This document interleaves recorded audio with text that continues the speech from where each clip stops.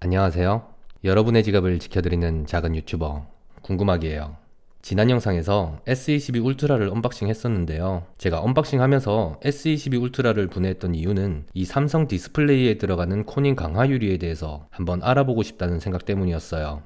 S22 Ultra 디스플레이 유리가 Gorilla Victus Plus, Galaxy S10의 전면이 Gorilla 6, 후면이 5이기 때문에 이 세 가지 유리들을 비교해보고 이전에 동일한 Corning 회사에서 제조된 Gorilla Glass를 리뷰하긴 했지만 기대했던 만큼 그렇게 튼튼하진 않았기 때문에 디스플레이에 들어가는 유리들과 또 어떤 차이가 있는지에 대해서 알아볼 수 있는 좋은 기회가 될 듯 하네요.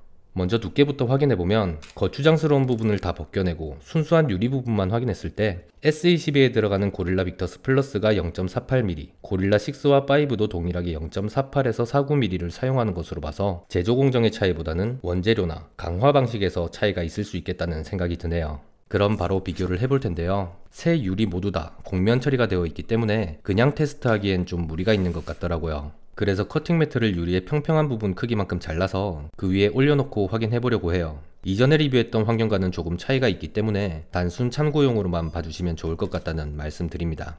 먼저 칼로 긁어봤을 때 Victus Plus는 이전 리뷰 영상과 동일하게 스크래치가 생기는 걸 볼 수 있고요. Gorilla 6도 칼로 긁었을 때 동일하게 미세 스크래치가 생긴 모습. 5는 어, 확인하기가 좀 어려운데 비슷한 수준이 아닐까 생각이 되네요. 경도를 비교하기 전에 미리 테스트할 부분에 숫자를 적어두었고요. 먼저 Gorilla Victus Plus를 경도 6으로 스크래치를 냈을 때 표시가 나는 모습 6도 동일한 수준으로 스크래치가 나고 5도 잘 보이진 않지만 동일한 수준으로 스크래치가 난 걸 볼 수 있어요. 7번으로 동시에 긁어줘도 스크래치가 나는 수준은 거의 비슷하고 8번은 모두 다 파이는 수준이고요.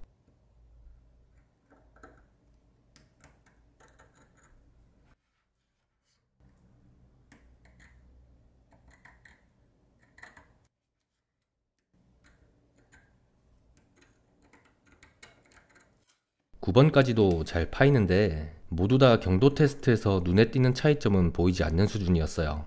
그래도 확실히 고릴라 글라스 모두 일반적인 강화유리 필름들처럼 높은 경도에서 맥없이 깨지는 현상이 생기지 않는데 이건 시중에서 판매하는 강화유리 필름들보다 유리층이 적게는 2배, 많게는 5배까지 더 두껍기 때문이 아닐까 하는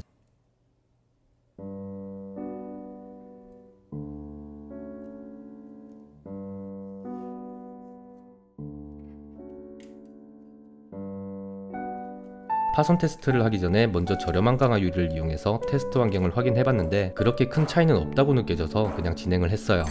파손 테스트는 고릴라 글라스 5부터 확인을 해볼 텐데요. 이게 너무 산산조각이 나서 좀 확인하기가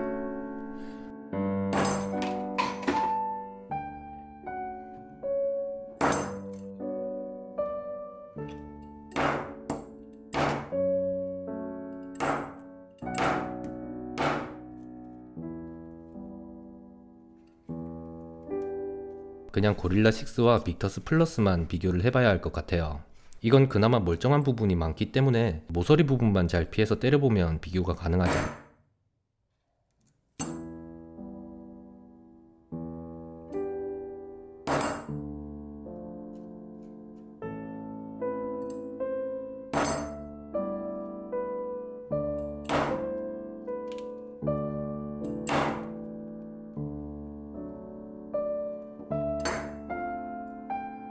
그래도 괜찮아요. 빅터스 플러스는 멀쩡하니까 실수만 하지 않으면 빅터스 플러스에 대해서 자세하게 알아볼 수 있을 거예요. 먼저 간단하게 한번 두드려 볼게요. 이상이 없으니까 단두대 테스트 딱 다섯 번만 해보고 세게 한번 때려 보겠습니다.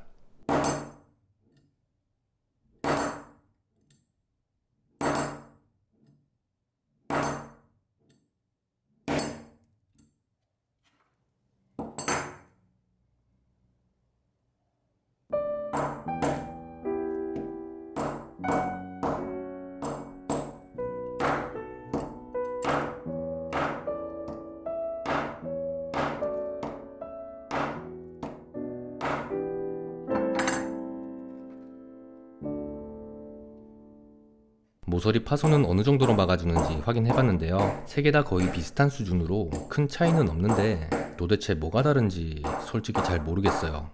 일반 강화 유리들보다는 튼튼하긴 하지만 그렇게 많이 튼튼하다는 느낌은 받지 못했고 이전에 리뷰했던 강화 유리 제품들과 비교해보자면 벨킨 울트라와 비슷하거나 그 이상으로 느껴지는데 이건 개인적인 생각이니 참고만 하시면 좋을 듯 하네요 아 근데 뭔가 굉장히 아쉬운데 이거 30만원짜린데 한 장만 딱 더 있었으면 좋겠다 그러고 보니 이것도 빅터스 플러스 아닌가?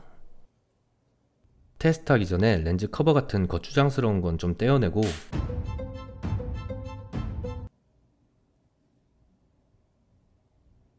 그래도 괜찮아요. 아직 멀쩡한 부분 많으니까 조심스럽게 떼어내면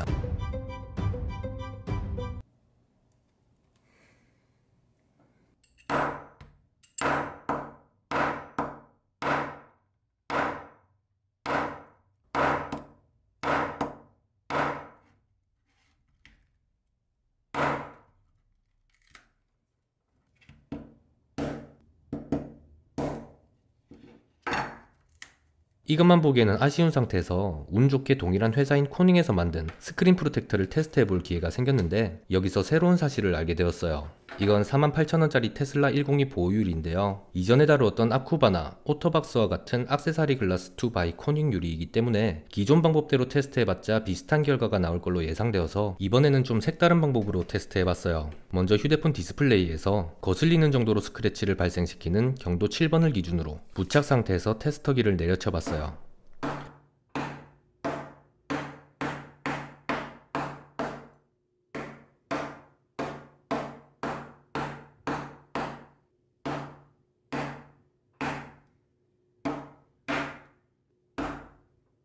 화면에서 보시다시피 조금 과하다 싶을 정도의 힘으로까지 내려쳐도 전혀 이상이 없는 걸 확인하고 경도 8번으로 올려서 내려쳐 보니까 조금만 힘을 주고 내려쳐도 깨지게 되더라고요.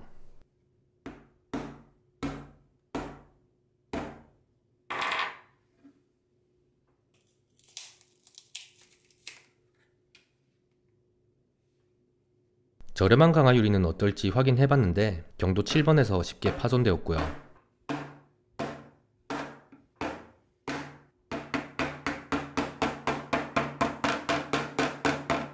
이 이유는 스크래치를 발생시키는 수준의 경도가 높은 물질의 충격이 유리 표면의 균열을 만들면서 파손으로 이어지게 되는 것 같다는 느낌이었는데요. Corning의 Gorilla Glass는 이걸 좀 더 잘 버텨준다는 결과로 해석이 가능할 것 같은데 이 부분에 대해서는 앞으로 리뷰하면서 좀 더 자세히 알아볼 필요가 있을 것 같다는 생각이 들었어요.